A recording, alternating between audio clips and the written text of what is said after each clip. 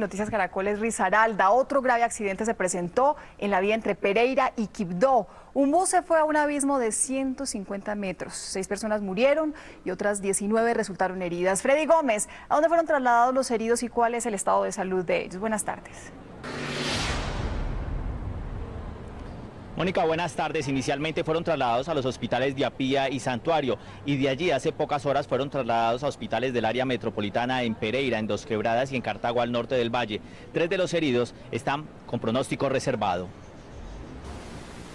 Un grupo de socorristas realiza las labores para rescatar los cuerpos de seis personas que murieron cuando el bus que se desplazaba desde Condoto en el Chocó hacia Cali rodó por este abismo de 150 metros. 19 personas resultaron heridas. Eh, estamos utilizando cuerdas, un wincher de un vehículo con camilla tipo canasta y una coordinación entre todos los organismos de socorro.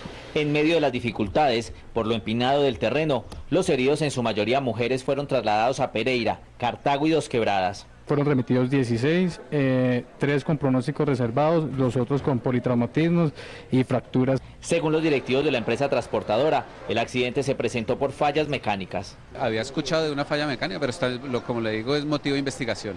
Es un vehículo Kodiak en muy buenas condiciones, tiene sus documentos, revisiones tecnomecánicas al día.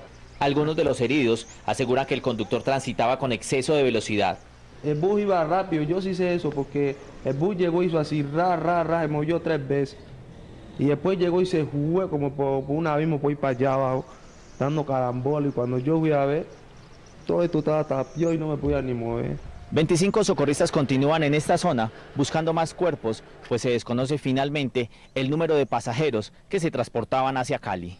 Entre los heridos, que según un parte médico están siendo atendidos en cuidados intensivos, se encuentra una mujer en embarazo. Lamento mucho lo de ustedes.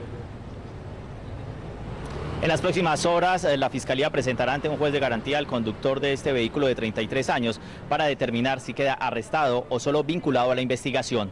Desde Risaralda, Freddy Gómez, Noticias Caracol.